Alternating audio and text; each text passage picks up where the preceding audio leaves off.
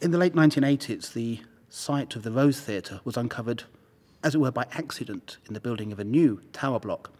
And the dig on that site, I would say, threw up in a few weeks more knowledge about the design of theatre in Shakespeare's time than had been learnt in the previous century or two.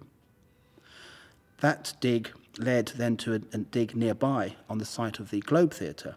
Far less of that was uncovered, but crucially, one key angle in the outer wall of the building was uncovered and measured, and that gave the size and indeed the shape of the uh, globe replica that was built nearby.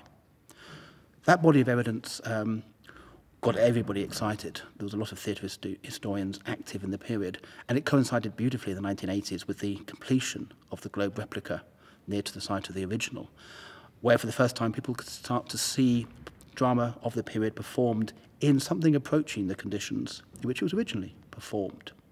Not perfect as a replica, no one claimed it would be, but the goal had always been authenticity, respecting, of course, that's a very tricky term intellectually, philosophically, it's a hard thing to pin down. But with that goal in mind, the theatre put on, I think what everyone would agree is there's been a series of extraordinary productions exploring just how these scripts originally worked. Over the 50 years from the 1580s to the 1630s, in a word, what happens to theatre is it becomes respectable. Having started out as an extremely disreputable uh, occupation, it becomes highly reputable. But I would start the story earlier than the 1580s. Well, the interesting uh, events are really happening in the 1560s, 1570s. So if we want to understand where this theatre came from, essentially there were groups of amateur performers touring the land, relatively lowly capitalized, undercapitalized actors. They didn't have much money, they didn't spend much on their clothing or their um, scripts. And they were informal. In fact, they may drift in and out of the business and do other things. The key change before our period is in the 1550s and 1560s, the state, the crown, the monarchy gets involved and essentially forces this industry to become um, more organized. It, it becomes required that actors have to have an aristocratic patron. And essentially, they have to acquire capital. That's the way I look at it. So those who don't have capital are forced out of the business, and the few that do and can accumulate capital um, become rather successful. But they are still essentially touring companies. It's not until the late 1560s that anybody builds a theatre in London. And not till the 1570s, 1576 to be precise, that a proper permanent home for London theatre is built in Shoreditch, called quite simply the theatre. The story thereafter is that this design that James Burbage, an actor, has originated, which is an open air outdoor amphitheatre, loosely modelled on Roman amphitheatres, but with a lot of Tudor, as it were, vernacular touches. So made out of wood, for example, not out of marble. Um, that style is copied by several others. They spring up all around. The first one, in fact, like a mushroom, appears right next to the um, theatre itself, north of the river, and then it spreads south of the river. Although if you plot these locations on a map, what you'll spot is that they're on the periphery of old London, not in the centre.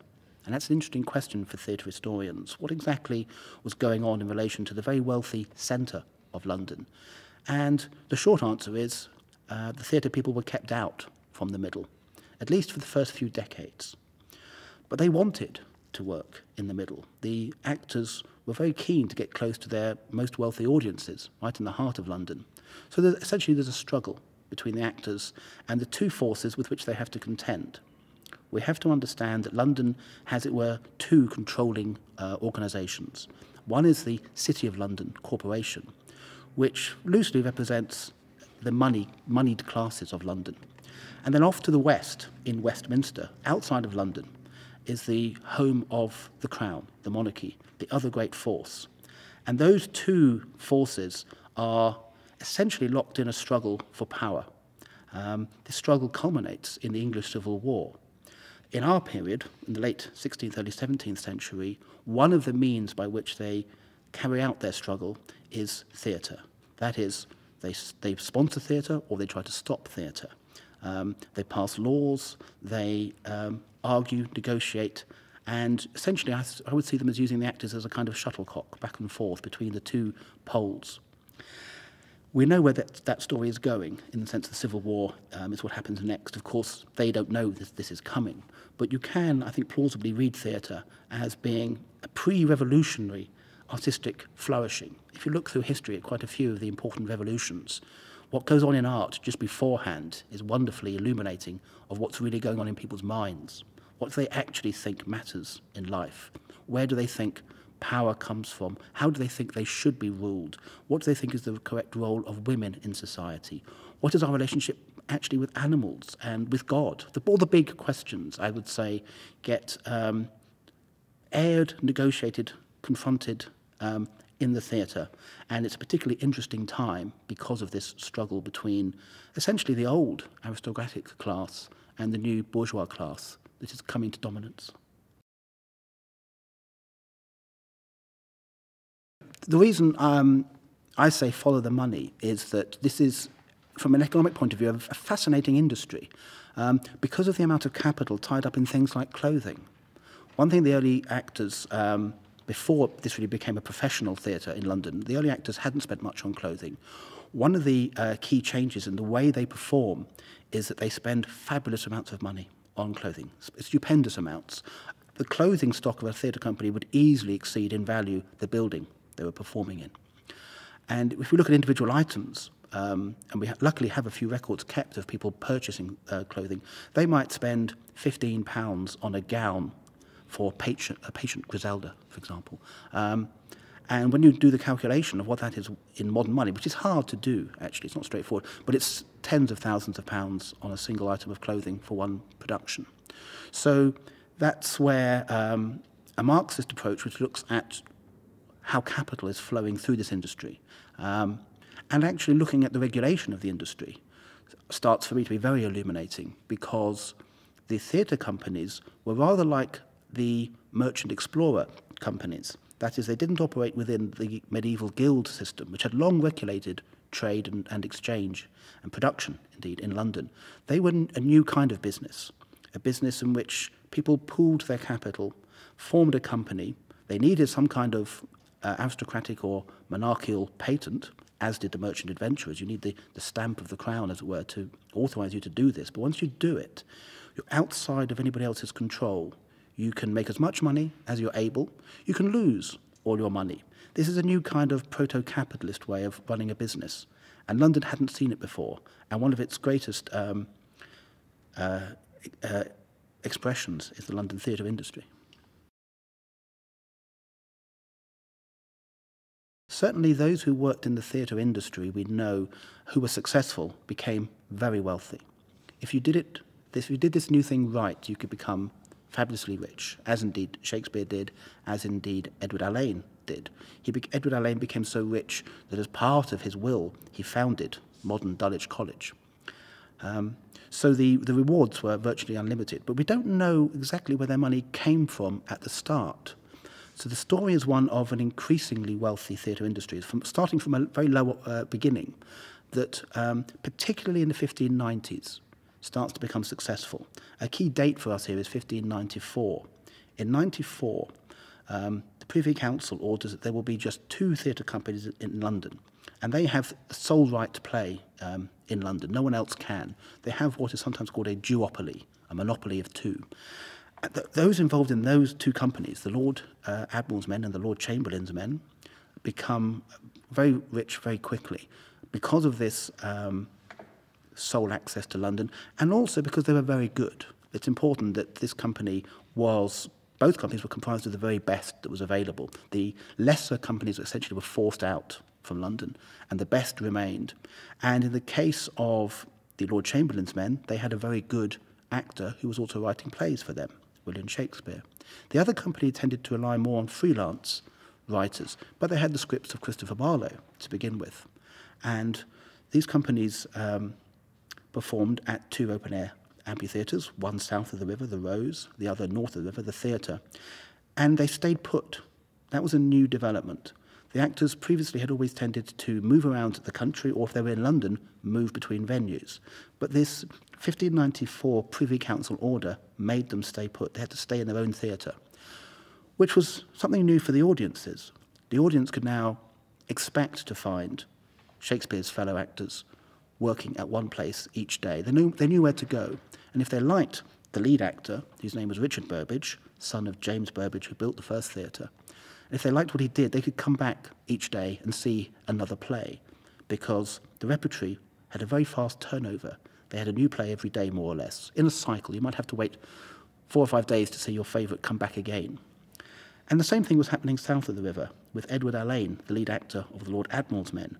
These two actors, these two companies and their lead actors became stars, superstars of the London stage very quickly. Um, we know this because people spoke about how wonderful they were as performers. And the, the money poured in. Well, throughout the 1590s, these two theatre companies, uh, the Lord Admiral's Men at the Rose and the Lord Chamberlain's Men at the theatre, are, are successful. But for the Lord Chamberlain's Men, there is um, something on the horizon they need to be aware of. They're working at the theatre in Shoreditch. This was built in 1576 by James Burbage, father of the actor Richard Burbage. And it was built on a piece of land for which uh, Burbage had a 21 year lease. So they knew that in 1597 they would have to somehow negotiate a new, new lease or move. And in the event, they were unable to negotiate uh, a new lease.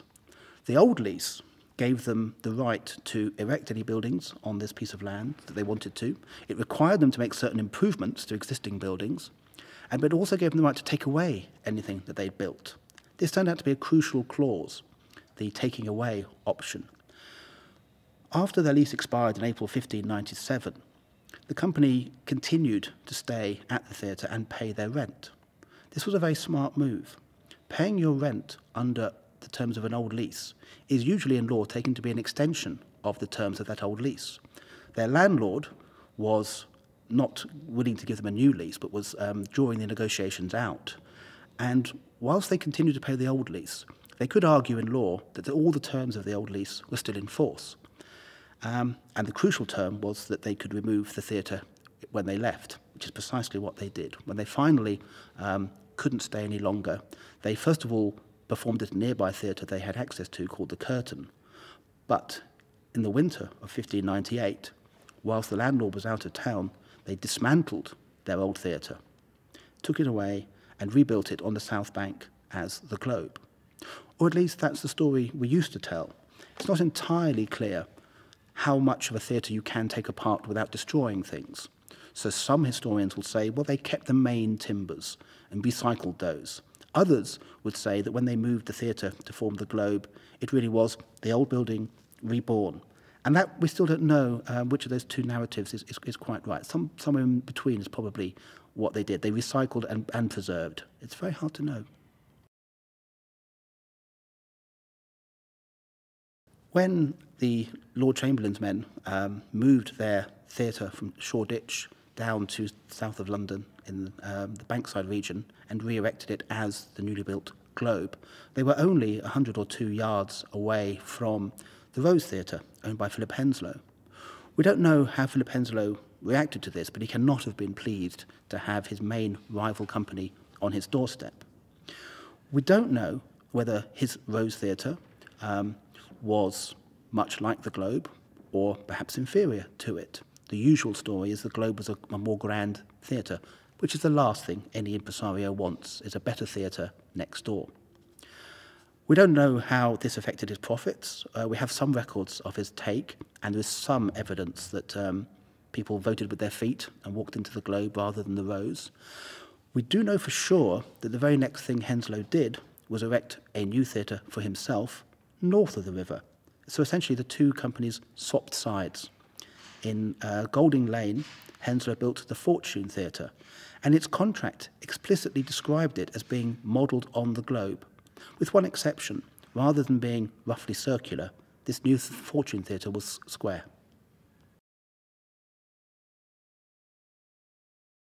The amphitheatre um, style playhouses on the edges of London were new builds. These were buildings where there had been fields before. You couldn't build such a thing in the middle of London, but in the middle of London was where the actors wanted to be, because that is where the most affluent customers lived and worked. So the theatre um, people always wanted to get into the centre of London if they could. And part of their struggle with um, the London Corporation was about whether playing would be tolerated right in the heart of London, inside the old city wall. In the 1590s, the Lord Chamberlain's men could see the closing of the theatre. They could see that their theatre in Shoreditch needed to um, either have a new lease or to be moved. And they had a brilliant idea for a new theatre. They managed to acquire part of an old Blackfriars monastery in the Blackfriars district, Blackfriars being an order of monks, and converted that into a theatre, an indoor theatre. So they took an existing building and made it into a theatre rather than building something new. But it took a lot of money. The conversion was very expensive.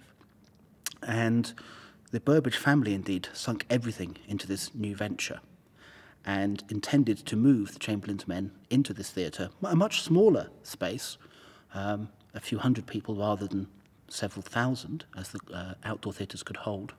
But each person was paying much more, or was expected to pay more than they would in the outdoor theatres. It was a, an upscale move, essentially. This was a, a classy thing to do. But unfortunately, just as the theatre was being completed, the Burbage family learnt that they couldn't occupy it. They had essentially a petition of local residents to contend with, including, indeed, their own patron who lived nearby who objected to this uh, development within the heart of London. So, having put all their money into the Blackfriars Theatre in 1596-97, the Chamberlain's men couldn't occupy it. And that's part of the background for the story of, of them moving their theatre in Shoreditch down to the Globe. That was, as it were, their second best option. That at least kept things going. They always had their eye on the heart of London, though, and what came later wasn't a chance to occupy the Blackfriars as well as the Globe. With hundreds of pounds sunk into the Blackfriars project, the Burbage family found themselves unable to occupy it in 1597 and instead moved south of the river to uh, build the Globe Theatre. But they owned the Blackfriars, or had at least, uh, they owned the theatre and had a lease on the land, and their stopgap solution was to rent it out to other companies. Not professional actors. The local residents would not tolerate professional theatre in their street. But there was a way around this. Boy actors, companies entirely composed of boys, who were receiving acting education as part of their general education, might be allowed perform, say, once or twice a week, in what was technically, legally, an open rehearsal for which money was taken, rather than professional performance.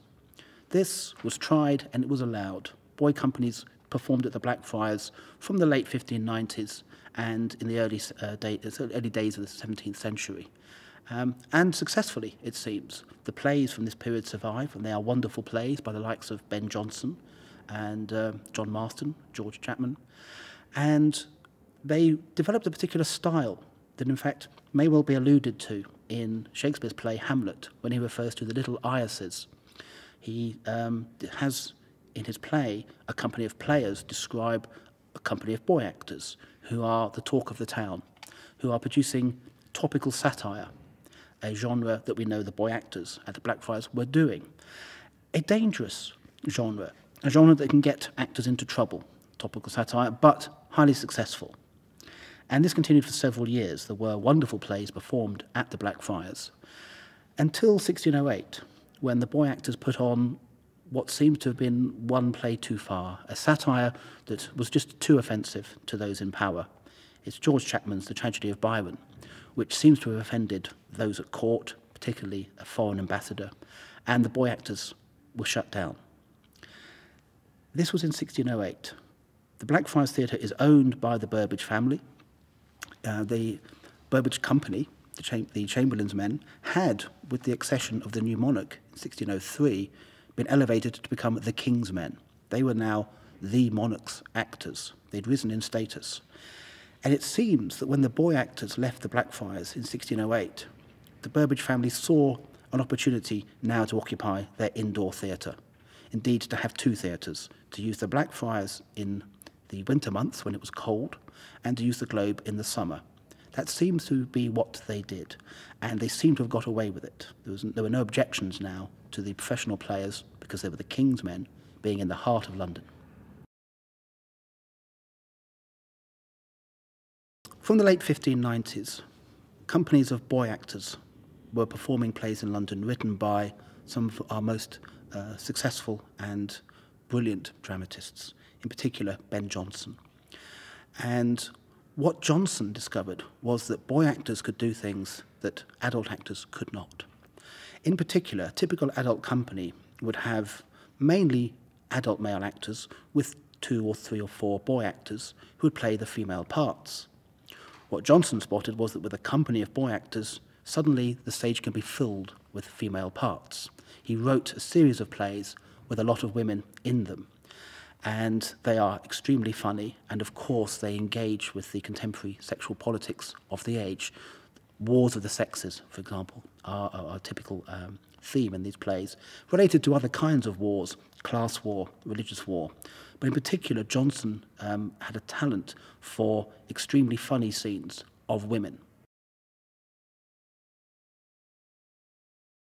The plays of the 1580s and 1590s that had been highly successful at the open air amphitheatre theatres were plays, for example, that showed the history of England. That you might have to stage a battle, perhaps the Battle of, battle of St Albans, or a foreign battle, Agincourt. These plays might self-consciously refer to their own inability to put 5,000 soldiers in full armour on the stage, but they nonetheless could attempt some kind of realism. The stages were large and essentially outdoors. When theatre moved indoors, these plays were obviously much harder to stage. Uh, indoor theatres were smaller than outdoor theatres. The audience were much closer to the action, and staging the Battle of Agincourt really was not um, as easily achieved as it had been at the Globe or, anywhere else. Dramatists responded to this by developing new kinds of drama, drama that um, was in some cases much more domestically oriented, tragedies that happen inside people's houses, inside families. These topics had been broached before, but it was much easier to represent intimate scenes, um, indoor scenes of, of great emotional tension at the indoor theatres, where there was some ability to, for example, control the lighting, and where the audiences were so much closer to the actors. The two kinds of theatre, the open air amphitheatre playhouse and the indoor hall playhouses, had a different kind, each had a different kind of audience, essentially regulated by price. But it would be too simple to say that the rich went indoors and the poor went outdoors, because anybody could go to an outdoor theatre rich or poor alike. It was a penny to enter and stand in the yard. And we know that all social classes did go. One penny was a low enough entrance fee that almost everybody in the area could afford to go. The equivalent today would be about five pounds, so it was a, an affordable entertainment. But we know that aristocrats went. We know that foreign visitors to London would, would go to the theatres as part of their experience of London. And indeed, ambassadors would organise trips to the open air amphitheatres. They were entertainment for everybody. You paid your penny and you could stand in the yard as close to the actors as you liked, but really that depended on how soon before the performance you arrived. If you turned up at the last moment, you'd be at the back. If you really were an aficionado of this entertainment, you might come an hour before and get a space right at the front of the stage. There was no sense in which the amount of money you paid regulated how good a seat you had. Most people were in fact standing. But at the indoor theatres, they started the kind of system of regulation that we expect in a theatre. The more you pay, the closer you are to the action. So they had seating in the uh, pit area in front of the stage rather than people standing around the actors. And the more you paid, the nearer your seat was to the front.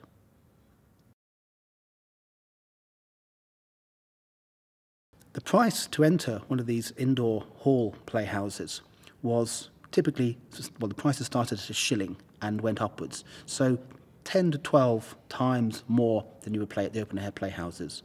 Each person in the audience was worth 10 times as much to the actors, is the way I would look at it. They only had to get 500 people in to have an enormous take for that production. That meant that these people were much better off than the typical open air amphitheatre audience. The average um, person in an indoor theatre audience was a, a wealthy citizen or a minor aristocrat. That's the, that's the range. Artisans, workers did not go to the indoor theatres. And one might actually see in this the origin of an idea about theatre that we still have as it being a preserve of the, the well-off and the educated.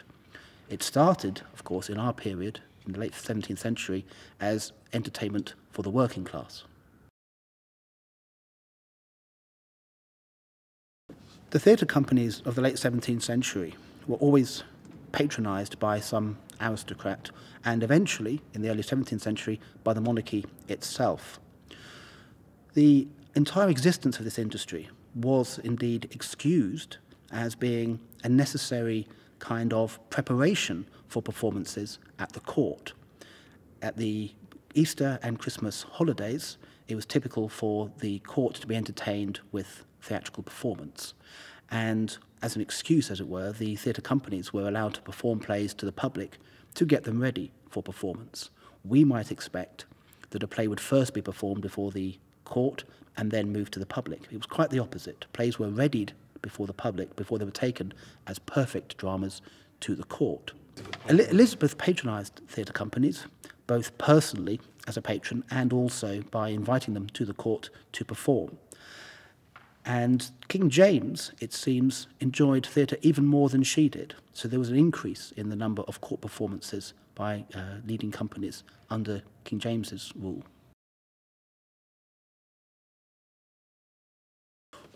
Whether or not you think the 1590s and the early 1600s are the golden age of theatre depends to a large extent on how you feel about the audience, the kind of people who are going to the theatre, and what would please them.